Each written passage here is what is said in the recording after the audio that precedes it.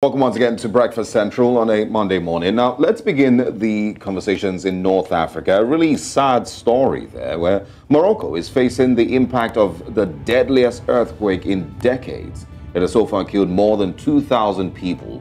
Now, as troops and emergency services scramble to reach, you know, remote mountain villages where victims are still feared trapped.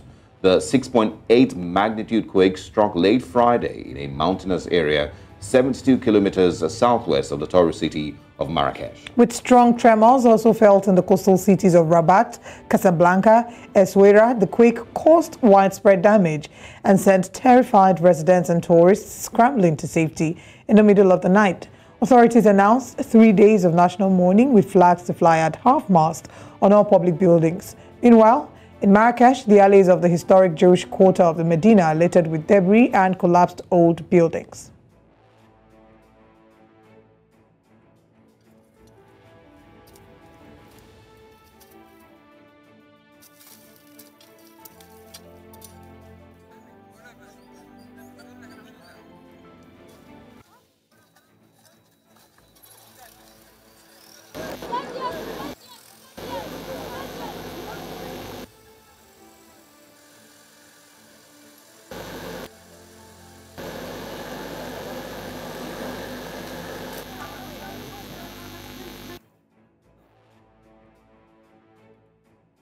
Um, you know, very, very sad um, situation there in Morocco. Of course, uh, other countries have uh, uh, sent their condolences, and of course, we'll be sending some help and some assistance to that country to assist them, you know, in this very trying time. Right. It occurred on Friday. I remember the very first stories that broke, you know, showed the death toll at 200, and then it continued to rise to 400, 800, and as of this morning, we're talking more than 2,000 people confirmed dead, uh, Yeah. with the death toll, of course, likely to continue to rise.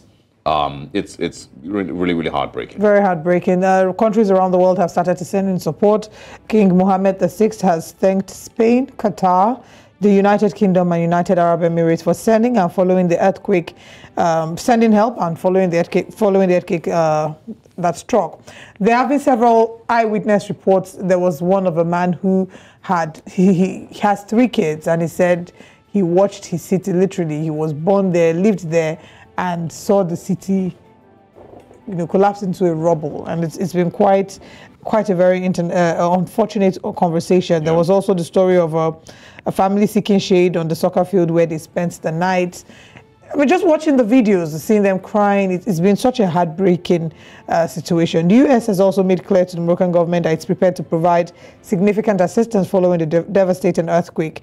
They've also got search and rescue teams that they're ready to deploy that can be of help, not just with the activity, but with medicals and also with other forms of assistance.